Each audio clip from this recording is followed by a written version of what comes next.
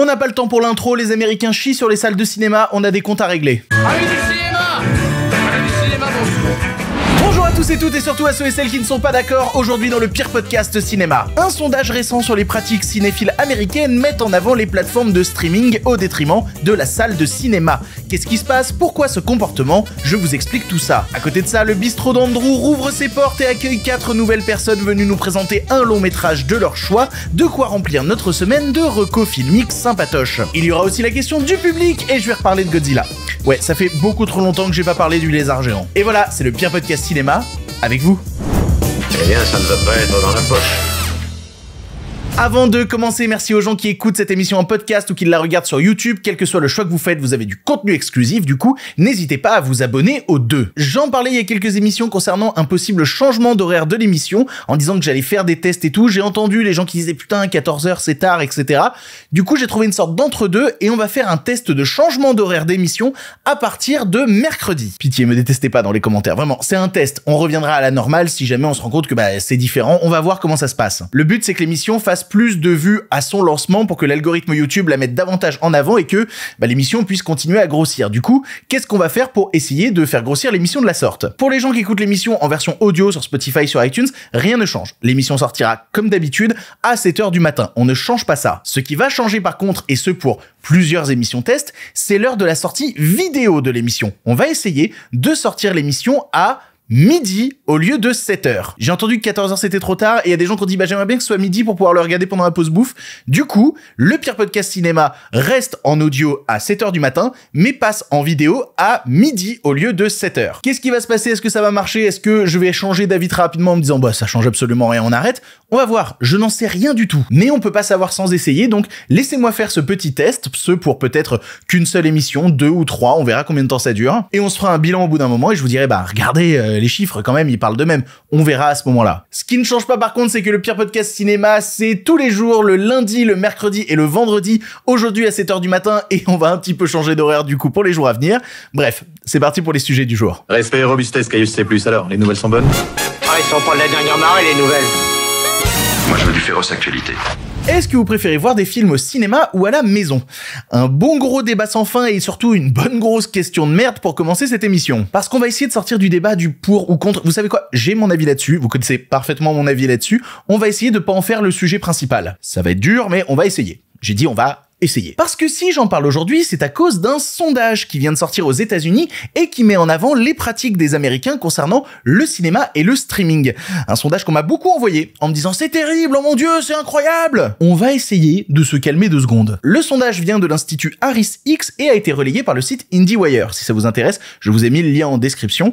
Qu'est-ce qui nous dit de beau ce sondage? Eh bien, il indique, je cite IndieWire, que seulement 34% des Américains adultes préfèrent regarder des films au cinéma, soit donc deux tiers des Américains qui préfèrent attendre que le film sorte en streaming pour le regarder à la maison. Voilà, ça c'est le sondage. C'est le gros chiffre qui a été relayé partout. Un tiers des Américains préfèrent le cinéma, les autres préfèrent rester à la maison. C'est le gros truc qui fait trembler toute la communauté des cinéphilos. Mais si vous suivez l'émission depuis un moment, vous savez que citer un sondage, ne pas le remettre en contexte et en faire une vérité générale génératrice de buzz, ce n'est pas de l'information. Non, c'est un tweet d'influenceur cinéma. Ce sondage en soi, il veut pas dire grand chose. Vraiment, il décrit une pratique. Un avis d'un panel sondé pseudo-représentatif, mais il veut pas dire grand chose sur les pratiques littérales des Américains concernant le cinéma. Pour saisir davantage ce qui se passe, il faut se plonger un peu plus en détail dans le sondage, qui comportait d'ailleurs des questions comme combien de films par semaine vous regardez au cinéma ou à la maison? Et la réponse qui est revenue en majorité, c'est deux films ou plus par semaine à la maison contre quelques fois dans l'année au cinéma. Ce qui est, ce qui est logique, en fait. C'est comme si je vous demandais euh, combien de morceaux vous écoutez par an sur Spotify et combien de fois vous allez à des concerts? La place de concert est évidemment plus chère, mais suivez un petit peu mon analogie. Ce que je veux dire, c'est que c'est logique dans un pays comme les États-Unis où les cartes cinéma sont pas illimitées, où faut se déplacer énormément pour pouvoir aller au cinéma, et ben que de préférer rester à la maison, regarder un truc dans un catalogue à 15 balles par mois, plutôt que de payer 15 balles le film et d'être obligé de sortir, d'aller loin pour pouvoir le voir. Je veux dire, personne tombe de sa chaise. Ils expliquent ensuite dans le sondage les raisons qui poussent à aller au cinéma, du côté des gens qui justement sont le tiers de gens qui préfèrent aller voir des films au ciné. Et ben le truc qui arrive en tête à 59%, c'est l'expérience d'un film sur un écran géant, suivi à 47% par la qualité du système son, et enfin à 39% échapper aux distractions de la maison. Des raisons que j'ai évoquées mille fois dans le podcast. Je veux dire, personne a une config semblable à une salle de cinéma chez lui. Si vous dites le contraire, vous êtes soit un gros bourgeois, soit un gros menteur. De même, pour moi qui ai des problèmes d'attention, c'est quand même le plus important. C'est-à-dire que à la maison, je risque de checker mon téléphone, de parler à quelqu'un d'autre, de mettre sur pause pour faire un autre truc, et donc de sortir du long métrage, de perdre ce qui me lie à lui. Les films au cinéma créent une situation où il est quasi impossible de s'échapper, où tu es obligé de rentrer en symbiose avec ce que le film te propose sur son écran. Et si tant est que le film soit réussi, ben ça crée un souvenir, ça crée une expérience, quelque chose qu'il est difficile à reproduire à la maison. Il y a d'autres raisons citées hein, avec des plus petits pourcentages, les sièges 37%, les boissons 32%, vous pouvez pas acheter des canettes de coca à la maison, c'est quoi ce délire Le film seulement disponible au cinéma 30%, les technologies type 3D IMAX 30%. Passons plutôt à l'inverse. À les raisons qui poussent les gens à rester à la maison. Bah oui, c'est quand même le pourcentage qui domine le sondage. Pourquoi est-il aussi présent? Alors la première raison qui est invoquée pour rester à la maison à 53%, c'est le prix du ticket de cinéma. Ah, le débat du cinéma trop cher, nous y voilà. Il est vrai que si on regarde le prix du ticket de cinéma aux États-Unis, il a doublé en 20 ans. Il est passé de 5,60$ en 2001 à 10$ à l'orée des années 2020. Ouais, ça a doublé. Mais étrangement, ça a pas baissé les entrées. Bon, faut compter l'inflation dans la balance et tout, mais si on parle des films américains, en 2000, le nombre de tickets de cinéma vendus s'élevait à 1 milliard 3, et en comparaison en 2018, le nombre de tickets vendus s'élevait à 1 milliard 3. Ouais, ça a doublé de prix, mais on a toujours vendu autant de tickets. Il y a eu un vrai effondrement post-Covid, hein, soyons très honnêtes, sur l'année 2023, on est à 828 millions de tickets, ce qui est plus qu'en 2022 et le double de 2021, mais ça reste 500 millions de moins qu'en 2018. hein. Le confinement a rendu la maison plus agréable. Une partie des gens sont devenus plus casaniers. Et c'est d'ailleurs une des raisons invoquées par le sondage. 40% des gens disent préférer le confort de la maison à celui du cinéma. Ça fait quand même un paquet de gens qui ont des salles de cinéma à la maison. Pas moi perso. hein. Sauf qu'on réalise ensuite dans les raisons invoquées une véritable déconnexion du public sondé. C'est-à-dire qu'il y a littéralement 24% qui indiquent juste s'en foutre du cinéma. Voilà, tout simplement. Des gens qui n'étaient pas convaincus avant et qui donc bah, le sont pas plus aujourd'hui. Rien n'a changé en somme. À peu près autant de personnes ont cité aussi le Covid comme raison de rester à la maison et 22% ont cité le fait de pas pouvoir mettre le film en pause pour faire pipi.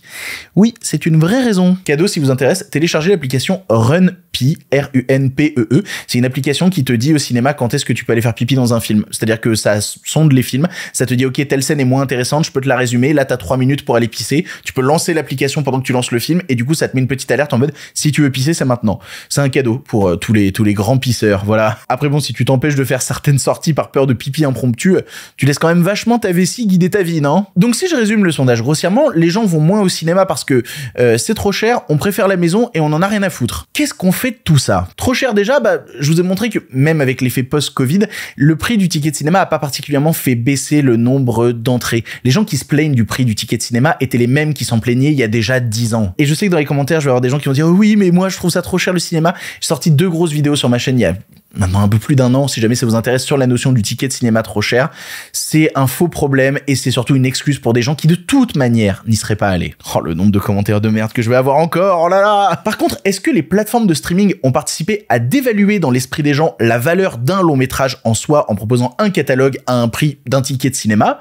Oui, je pense que des plateformes comme Netflix, etc., ont fait beaucoup de mal à la notion même de ce qu'est un film et de ce qu'il représente. Netflix a juste oublié que deux tiers de son catalogue, bah, c'est des films qui se sont fait leur réputation en sortant au cinéma. Bah oui. Les deux autres raisons qui sont invoquées, hein, le fait que bah, on préfère le confort à la maison et on en a rien à foutre, c'est des raisons que je peux pas combattre. C'est des gens qui ont choisi ce truc-là, et ben oui, bah, vous pensez comme ça. Je ne pourrais rien faire pour vous convaincre de changer d'avis. Je peux pas m'empêcher quand même de rappeler que ce sondage est très américain. C'est-à-dire que vous savez quelle est la salle de cinéma qui fait le plus d'entrées au monde à l'année? Eh ben, c'est une salle de cinéma française. Oui, c'est l'UGC Cinécité Les Halles à Paris, le cinéma qui fait le plus de tickets vendus par an. Cocorico la France, putain, on baisse tout le monde. Derrière ce sondage pseudo-alarmant, j'ai surtout juste l'impression que les gens qui étaient désintéressés avant, eh ben, sont toujours désintéressés aujourd'hui. Il y a pas grand chose qui a changé. Et moi, de mon côté, mon rôle, c'est de me battre pour vous rappeler que vous pouvez regarder autant de films que vous voulez à la maison. Ce qui fait exister les films, c'est la salle de cinéma. Je veux dire, de combien de sorties Netflix vous vous rappelez cette année de sorties vraiment marquantes, qui ont marqué l'année 2023 Je sais pas, perso, moi j'en vois deux. Par contre, si tu me demandes combien de sorties au cinéma je me souviens, Là, je vais manquer de doigts. Mondialement, le cinéma reprend des couleurs. Des films se plantent, c'est sûr, mais je veux dire des succès comme Dune 2 ou Bob Marley récemment font exploser les box-office internationaux. Maintenant, ça tient qu'à vous. Ça tient qu'à vous de vous bouger le cul et d'aller voir des trucs. Il a des super choses au cinéma. Ce serait dommage de les rater. C'est lundi et ça fait un moment que je vous l'avais pas dit, le bistrot d'Andrew rouvre ses portes. On a tourné de nouvelles émissions qui vont ponctuer vos semaines à venir et on vous a accueilli vous, oui vous, pour nous parler de cinéma. Quatre personnes, quatre films, une discussion au bistrot et un Andrew survolté pour animer les débats. Vous connaissez le principe. Andrew, c'est à toi. C'est une excellente question. Qu'est-ce que vous voulez comme remontant? Je vous fais confiance? Bon. Bonjour à tous et bienvenue dans le bistrot d'Andrew. Comme chaque semaine, on vous a fait venir à l'émission pour nous parler d'un film. Donc aujourd'hui, je suis en compagnie de. Maya Elias. Bonjour euh, encore une fois. Bienvenue dans l'émission. Power Et Kali. Bah, alors, qu'est-ce que tu fais dans la vie? Animatrice 2D. Nice. Et toi? Toujours étudiant. Ah oui, c'est vrai. Moi, je suis employée dans un cinéma euh, dans les Laurentides. Trop bien. Et euh, je bosse dans la QA dans le jeu vidéo. Donc, bah, vous êtes venu pour me parler d'un film que vous aimez euh, en particulier ou l'envie de partager un film avec nous. Donc, du coup, on va commencer par euh, Kali. Oui. Apparemment, c'est Guava Island. Guava Island, ouais. Allez, vas-y, bah, parle-nous-en. Pourquoi t'as décidé de parler de ce film-là? Alors il y a plusieurs raisons et le vrai prétexte c'est parce que Guava Island est un film réalisé par euh, Hiro Murai et Donald Glover Mhm. qui sont un binôme que j'adore. Parce que Donald Glover, c'est aussi le chanteur euh, Childish Gambino. Je suis fan de sa musique et de ses productions vi- audiovisuelles. Et euh, Guava Island, c'est un genre de film hybride, à mi-chemin entre le court-métrage, la comédie musicale et plein d'autres choses.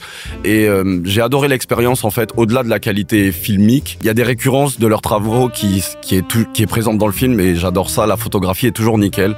Il y a un truc avec Hiro Murai, c'est que dès qu'il filme un truc, on peut mettre pause à n'importe quel instant et c'est un plan photo magnifique. Donald Glover, il est totalement fou dans son écriture.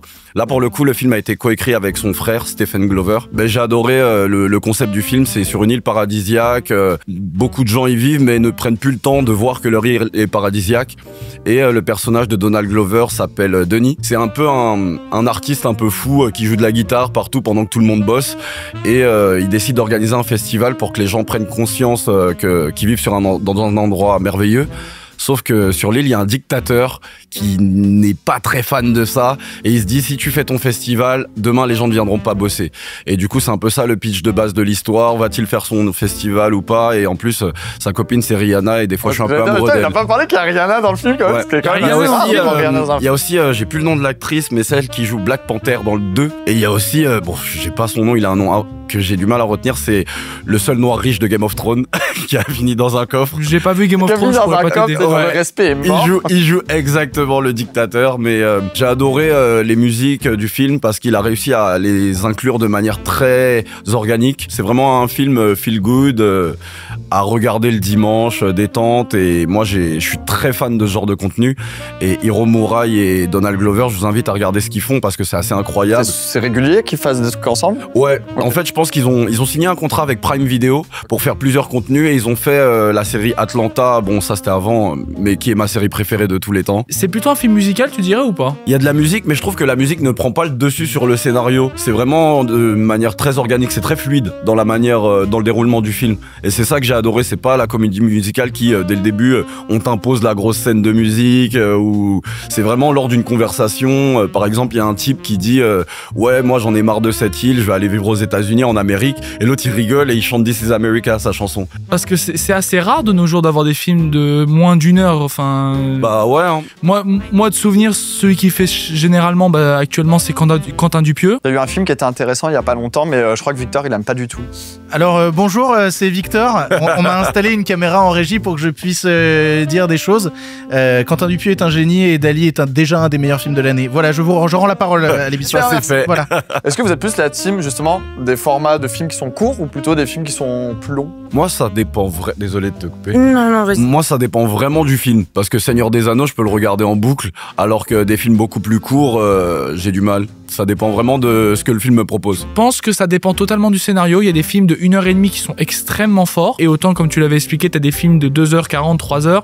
Et tu reparles du Seigneur des Anneaux, oui, ok, la version dure 4 heures, mais c'est 4 heures de bonheur absolu, Ouais. quoi. Mais il faut trouver un juste milieu. J'aime les films qui sont plus denses, qui, qui, qui, qui ont beaucoup de contenu puis qui deviennent peut-être, je sais pas c'est quoi le mot en français, overwhelming. Mais pour mon emploi du temps, mon emploi du temps préfère les films plus courts. Euh, mais c'est vrai que souvent, c'est, c'est, j'apprécie de, de m'immerser dans de quoi qui dure euh, plusieurs heures. De prendre Euh, le temps d'installer Ouais, le mais je scénario, préfère- les personnages. Je préfère les séries pour ça. Donc on va passer à toi, Power. Tu vas nous parler d'un film dont j'arrive pas à dire le nom correctement, donc euh, tu vas pouvoir le faire toi. Ça se prononce The End of Evangelion. Euh, c'est un film, euh, c'est une compilation de deux moyens-métrages. The End of Evangelion, c'est basé sur euh, la série Neon Genesis Evangelion qui fait 26 épisodes. Le film vient remplacer les deux derniers épisodes de la série. Euh, suite à beaucoup de critiques euh, en lien avec la fin qui était vue comme étant insatisfaisante par euh, beaucoup de, de fans, beaucoup de gens étaient fâchés. Puis Désolé, je... faut avoir vu la série pour voir le film?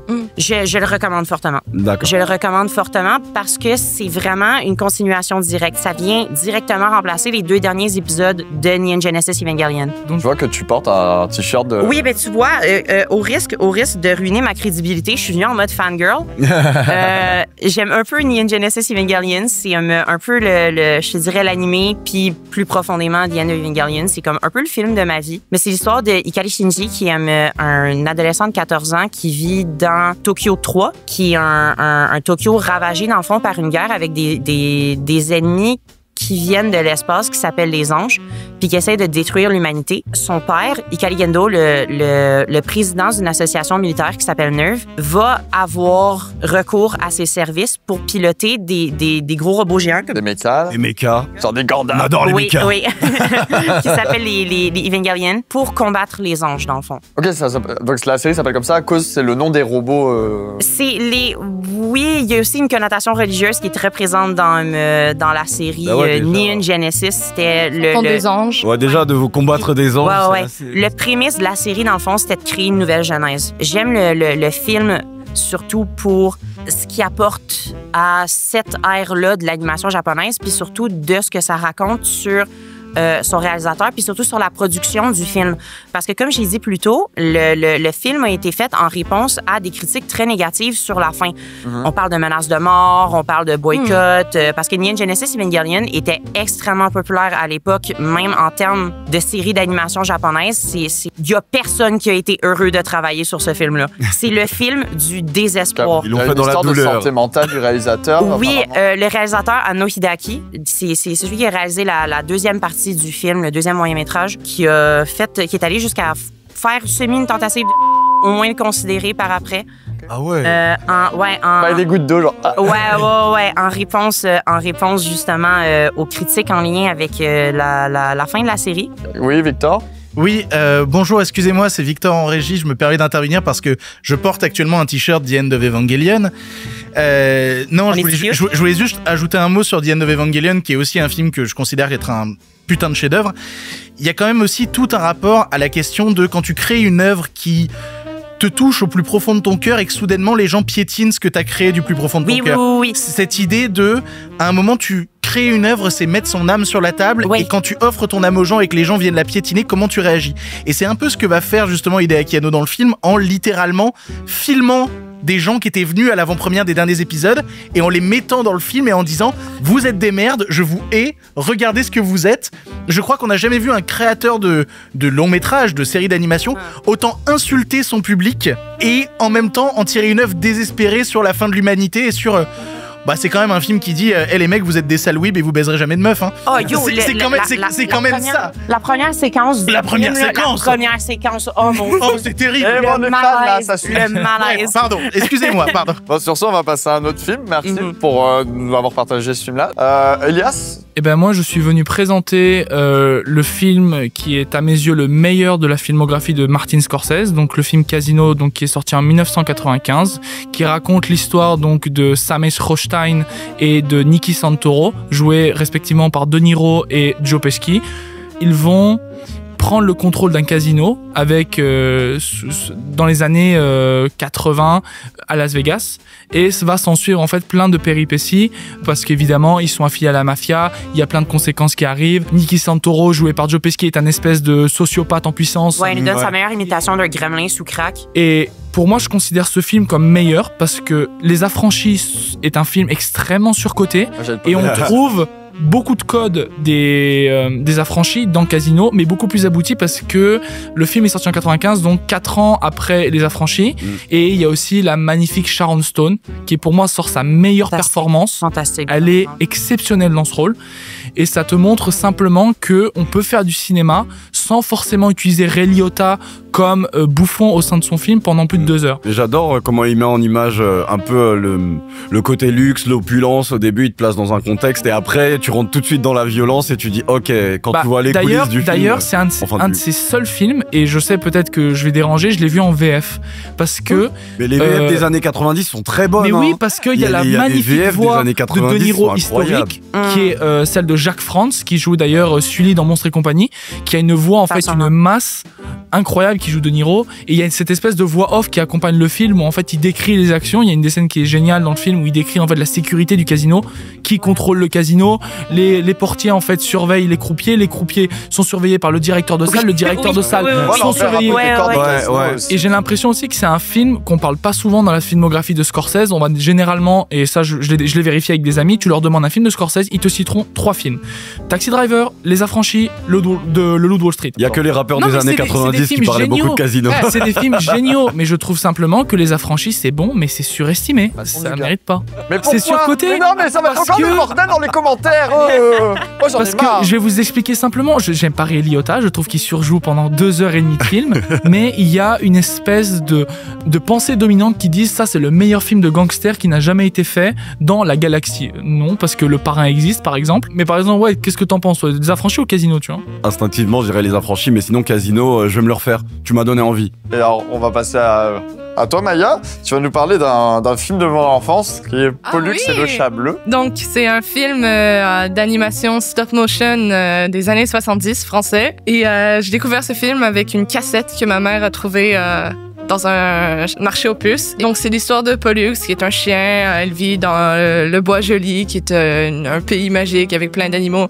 Et tu penserais vraiment que c'est un film juste comme, ah, ok, c'est juste c'est pour enfants. Mais Non, mais il y a du travail dedans. Et c'est du stop motion, mais un peu limité, mettons. Euh, tu vois qu'ils avaient pas autant de frappe budget. par frappe. Ouais, mais ça, quand même que ça c'est a la vibe des années 70. Mais déjà, euh, rien que pour le storytelling, ça donne envie. Ouais. Euh, en plus, c'est une série aussi euh, Ouais, qui a c'était une commencé dans les série années Oui, avec un chien, Pollux, là, ça me dit quelque chose, ouais. Et ouais. en fait, ça s'appelait le manège enchanté à la base. Ouais. Oui, c'est ça. Moi j'avais vu un film, je me rappelle un long métrage avec euh, le manège En, en enchanté, 3D? mais- Ouais, en 3D. Non, mais parce non, que- non, non, non. Justement, le stop motion, à la base, c'était quelque chose qui pouvait être euh, utilisé pour les euh, effets spéciaux. On a cette idée que, ah, c'est cheapo, c'est... euh, parce que c'est tellement de travail que souvent, ils peuvent pas aller au-delà de ce qu'ils veulent faire. Mm. Par exemple, des choses comme Coraline. Le film a été fait par 30 personnes. C'est minuscule pour une... 30 personnes. Oui, pour une Ouais, pour un team d'animation. Pour une Euh, durée de c'est combien de temps? Une heure, une heure et demie, je dirais. 1h28, 1h18, je pense. Ouais, c'est ça. C'est 1h18. vraiment long quand même. ouais. Ouais. Et euh, la musique, Oui. 100 personnes.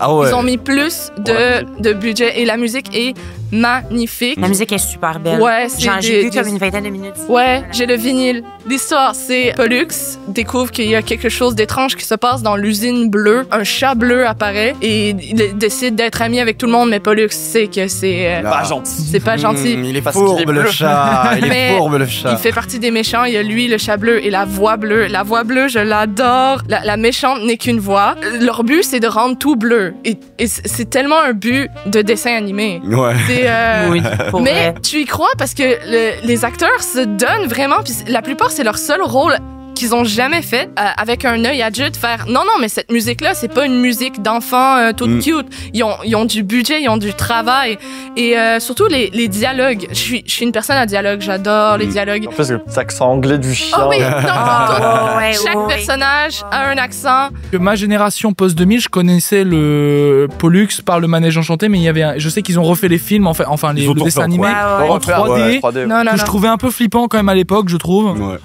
non ils sont à brûler les 3D de la de l'an 2000 Ouais, c'est, les 3D euh, de l'an 2000, il y en a qui ont Ouais, très mal ouais, vieilli. ouais. hein. Chicken Little. Sur ce, c'était un bon débat. Mais c'est la fin de l'émission, malheureusement. Donc, euh, bah, je vous remercie d'être euh, venu participer, de nous avoir parlé de vos films. Euh, je m'engage à regarder une partie des films dont vous avez parlé. tu as le droit de regarder les 15 premières minutes et nous envoyer un message après. D'accord, ça si me va. Je ferai une story. Faut que les gens devinent dans les commentaires quel film tu regarderas. Donc, bah, merci à tous d'avoir regardé l'émission et je repasse le micro à Victor.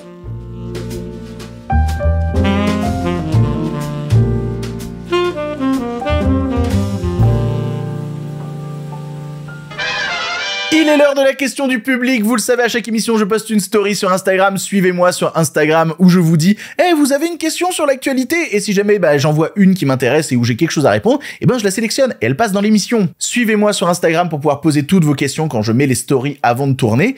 Et aujourd'hui, la question nous vient de Flox182 qui dit, un remake de la petite boutique des horreurs par Joe Dante, ça part bien là? Ouais, mais pas sûr que ce soit rassurant. Petit historique. Est-ce que vous connaissez la petite boutique des horreurs? Si vous avez répondu non à cette question, oh boy, la chance que vous avez, je rêverais de pouvoir revoir la petite boutique des horreurs pour la première fois. La petite boutique des horreurs, c'est à la base un film de Roger Corman sorti en 1960 et qui raconte l'histoire d'un fleuriste qui va récupérer une petite plante étrangère. Problème, la plante est en fait alien, va grossir, grossir jusqu'à devenir géante et manger des gens. Et le film est sympa. C'est du Roger Corman de l'époque, c'est-à-dire que c'est un film qui est tourné en quatrième vitesse avec des restes de pellicules tombées du camion. C'est sous-produit, hein, le film a coûté à peine 30 000 dollars, mais c'est culte. Et il y a Jack Nicholson à l'intérieur qui a un de ses premiers rôles. Par contre, il y a eu une adaptation en comédie musicale à Broadway qui ensuite elle-même a été réadaptée en film en 1986. Et ce film-là, le Little Shop of Horror de 1986, c'est un putain de chef-d'œuvre. C'est réalisé par Frank Oz, réalisateur mais aussi marionnettiste, proche des Muppets, de Sesame Street. Il y a Nick Moranis au casting, il y a Helen Green. C'est visuellement absolument bluffant, les chansons sont géniales. Je suis extrêmement fan de ce long métrage. Si vous n'avez jamais vu la comédie musicale Little Shop of Horror, c'est un des monuments des années 80 que vous devez rattraper, mais de toute urgence. Et là, ils viennent d'annoncer un remake du tout premier et pas avec n'importe qui à la barre. Puisque le film sera réalisé par Joe Dante, qui est réalisateur de Gremlins, qui est réalisateur de, Small Soldiers, le scénario sera fait par Charles S. Haas, qui a été entre autres scénariste de Gremlins 2, de Panic sur Florida Beach, et ce sera produit par le réalisateur du tout premier, à savoir Roger Corman. Dit comme ça, c'est un miracle. C'est une team de rêve pour un projet incroyable, le reboot d'un film culte. Ouais, mais non, non, non, non. Déjà parce que Joe Dante, il est plus que l'ombre de lui-même. Ça fait dix ans qu'il a pas fait de film et son film précédent, c'était Burying the X. C'était un tout petit truc qui a eu vraiment une très très mauvaise presse. Je crois que le dernier film de Joe Dante que j'ai aimé, c'était Small Soldiers, qui date de 98. Ça commence à remonter. Ah si, il avait fait Les Looney Tunes passent à l'action en 2003. Ouais, mais déjà, c'était vachement plus petit, quoi. Et ça a 20 ans. Putain, ça fait 20 ans. Ensuite, le scénariste de Gremlins 2, Charles S. Haas, bah, il a pas écrit de scénario depuis 30 ans. Ouais, son dernier scénario, c'était Panique sur Florida Beach en 93 ça commence à remonter. Puis même le scénario de Gremlins 2, il l'avait coécrit en duo avec euh, Chris Columbus. Là, il est tout seul à la barre. c'est inquiétant. Mais le plus inquiétant, c'est euh, annoncer Roger Corman comme producteur. Roger Corman, il a 97 ans je sais pas quoi ajouter de plus derrière ça. Le bonhomme, il a rien produit depuis 2017 et à l'époque, c'était déjà le téléfilm Course à la mort 2050 qu'il a produit seulement parce qu'il avait produit l'original des années 70, euh, Course à la mort de l'an 2000. Bref, c'est vraiment un prête-nom. C'est un effet d'annonce sur un bonhomme que j'adore mais qui est quand même plus que vieillissant. Et il y a un autre producteur affilié au projet qui est Brad Crevoy qui a bossé avec Roger Corman dans les années 80. Mais lui, ce type-là, il est spécialisé depuis 20 ans dans les téléfilm romantique de Noël. Donc à ta question, ça part bien là? Ouais, j'ai plutôt l'impression que ça part pas bien du tout là. Des personnes en fin de carrière fatiguées et qui se réunissent là autour d'un projet opportuniste avec des producteurs soit plus du tout mentalement disponibles, soit au contraire profondément cyniques. Oui, bah je peux pas m'empêcher de me dire que le projet part pas bien. Faut pas avoir de préjugés, c'est sûr, mais on verra. On verra. C'est-à-dire que Joe Dante, il a deux ans de moins que George Miller, qui va nous sortir cette année Furiosa et qui va révolutionner le cinéma à lui tout seul. Ouais, je suis très très sûr de mon coup sur Furiosa. J'ai tellement hâte de voir ce truc. Mais en l'état, si on parle de Little Shop of Horror, ouais ben, vous voyez la comédie musicale des années 80. Je pense que c'est le truc le plus important à faire. Pour le cinéma, monsieur Leblanc, pour le grand écran, pas pour la petite lucarne. Allez, un film pour finir et on remballe. Vous le savez, à chaque fin d'émission, je termine en vous parlant d'un long métrage que j'ai apprécié ou non. Et le vendredi, bah, c'est pas moi qui parle d'un film. Non, c'est vous qui parlez d'un long métrage. Et pour ça, il vous suffit d'envoyer un audio d'environ 3 minutes à l'adresse mail lepirepodcastciné.com. Vous pouvez parler d'un film récent ou non. Vous parlez de ce que vous voulez. Vous synthétisez tout ça dans un audio de 3 minutes que vous m'envoyez par mail et vous aurez une chance de passer dans l'émission. Donc allez-y, faites-le. Lâchez-vous. Et aujourd'hui, le souci, c'est que bah, j'avais pas de, de film précis en tête. C'est-à-dire que j'ai vu des trucs, mais soit c'est des cartouches que je me garde pour les mercredis à venir, soit c'est des films qui ont même pas encore de date de sortie en France. Genre j'ai vu le nouveau Rose Glass, Love Lies Bleeding, c'était super. Ou j'ai vu le film d'horreur Stop Motion. C'était moins super. Mais du coup, je me suis dit, hé, j'en parle dans l'émission régulièrement, je vais vous faire un petit point sur cette saga que j'aime tant, et on va parler de Godzilla.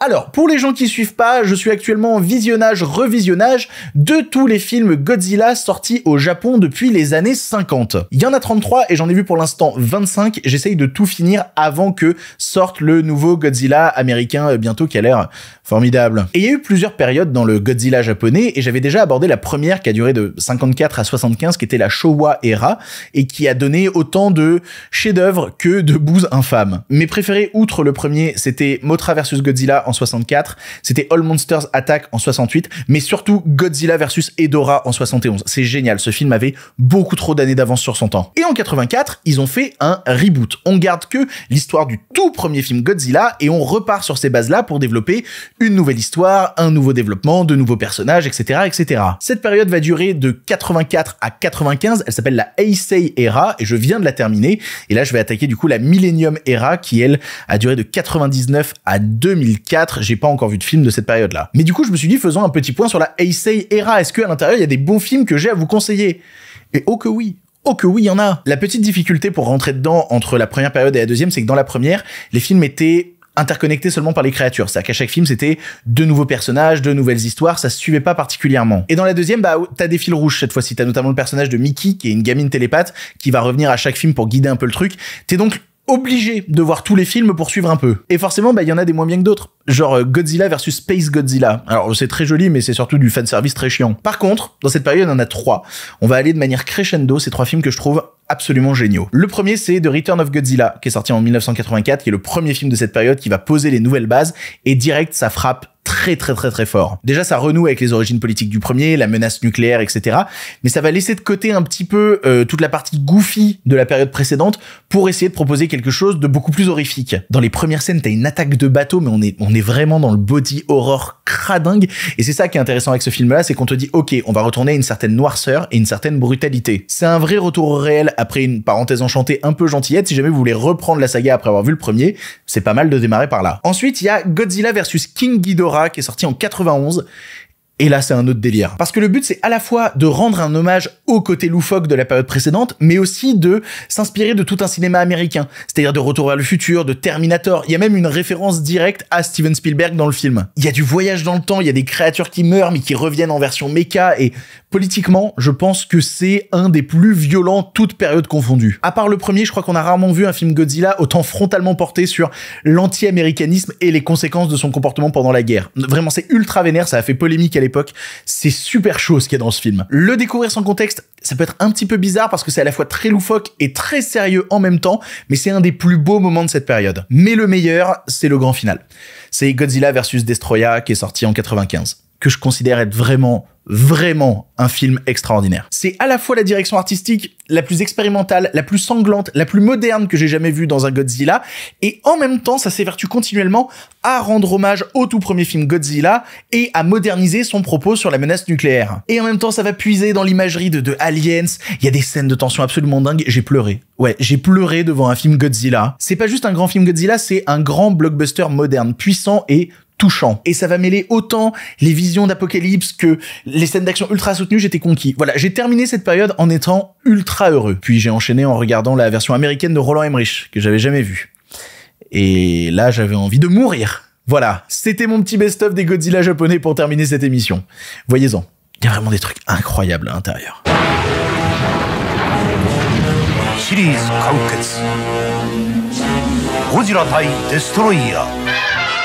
C'est ainsi que se termine cette émission du pire podcast cinéma. Merci de l'avoir suivi jusque-là. J'espère que vous allez bien chez vous, où vous êtes, que vos proches vont bien et que vous êtes heureux et heureuses. L'émission démarre sur des chapeaux de roue. J'espère que le changement d'heure, notamment de la version vidéo, perturbera pas trop les gens. On verra ça bah, dans l'émission de mercredi, hein, quand l'émission sortira à midi, je vous le rappelle. Du coup, bah, on se retrouve mercredi. En attendant, c'est terminé. Si vous en voulez encore. Non mais oui, bien sûr, mais c'est fini cette histoire là. Par contre, euh, la prochaine fois, avec plaisir.